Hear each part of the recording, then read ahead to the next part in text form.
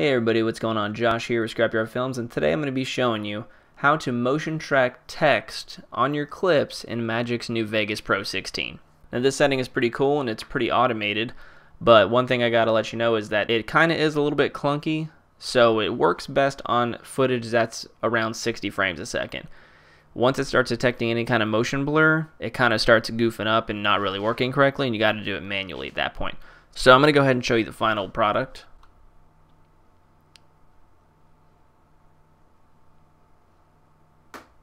So the text is pretty much latched to Thresh's health bar at this point, and that's all done through motion tracking. So I'm going to get rid of these two things and then show you how to do it. So you got to choose an object that's not going to be covered up by any other objects. And so his health bar is in plain view the entire time. So first thing we want to do is ungroup these clips by pressing U, hold control and drag your clip up above in a timeline so it duplicates it. We're going to be masking this clip right here. So bring it to the first frame, go to Bezier Masking here in the Video Effects tab, and we're going to drag the rectangle onto this one. This shows up the little rectangle marker here. We want to get this as exact as possible. So you can drag the scale down with the corner ones and you can micro adjust it with the yellow ones. We're going to mute the bottom clip so we can just see what we're masking.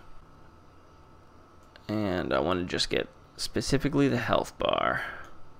So I'm going to use the yellow ones from this point on.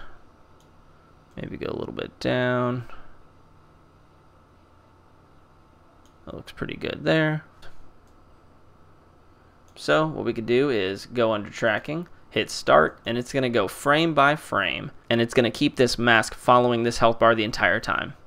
Normally, back in the old Vegases, you had to do this manually. So with them adding this automatic feature is pretty amazing. So we can see what it did by just playing and you see it is automatically following the health bar this whole time.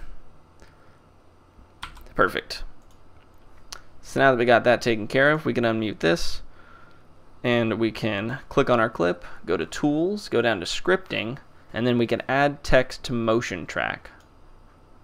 Then we just hit OK, and it throws some text above us. So from here you can just edit your text like normal. So we're gonna, I'm gonna name it Thresh, maybe black and then we'll do an outline, scale it down, and there we have it. Let's see if it follows nicely.